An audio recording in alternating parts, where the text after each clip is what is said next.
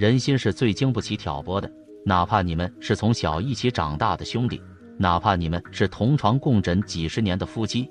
这一天，惶惶不可终日的王东在村里闲逛，他意外的听到了二狗对他妻子的闲言碎语。我跟你说，你是不知道，那天晚上，阿浩是跟我们打赌，说去找那个独守空房的淑娟，找乐子。那杨通不在，那淑娟也是独守空房，寂寞难耐。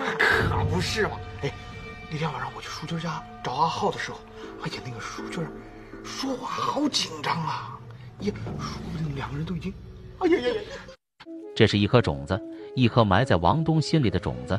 王东其实清楚的知道，当晚阿浩并没有打桩成功。起初他也是不相信的，但随着村里对阿浩和淑娟的闲言碎语越来越多，他开始相信了。他看妻子的眼神慢慢的有了一丝厌恶，他的精神开始恍惚，开始频繁的做噩梦，梦见妻子向警察举报了他。他开始变得疑神疑鬼，脾气也是越来越大。终于在春节前夕，王东爆发了。他要逃离这个令他惴惴不安的地方，他要回城里，他要把淑娟也带上。他对淑娟说出了心中所想。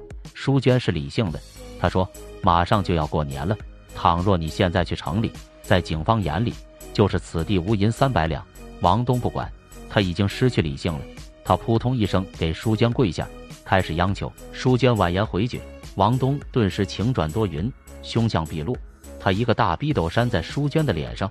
颇有一种你不去我就让你重开的意思。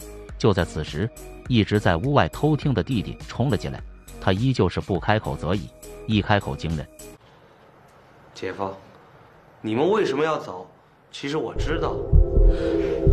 小花，你知道什么？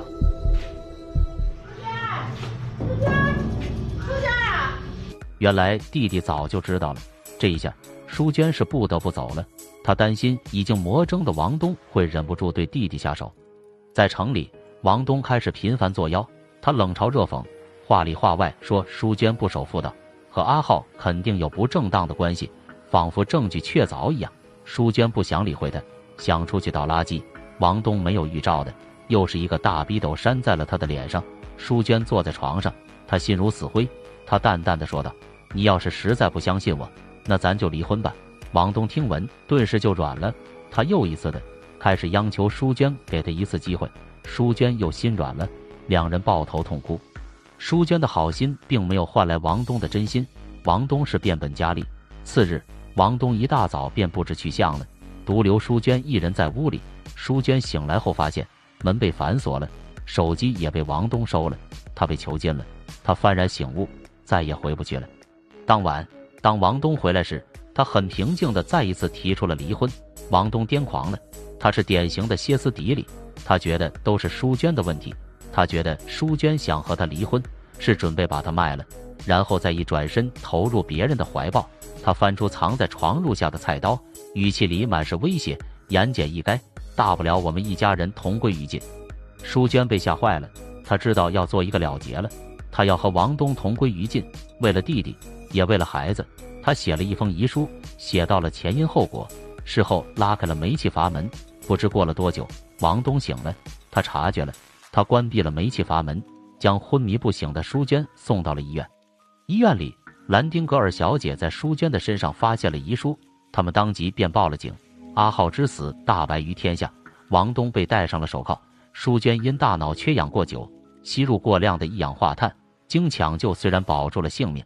但下半生只能在床上度过了，他成为植物人了。假如不没有假如，阿浩是一切的根源。但王东的冲动和法律意识的匮乏是加速悲剧的兴奋剂。最后，试问一下，如果王东也能像淑娟一样冷静，此案会这么快告破吗？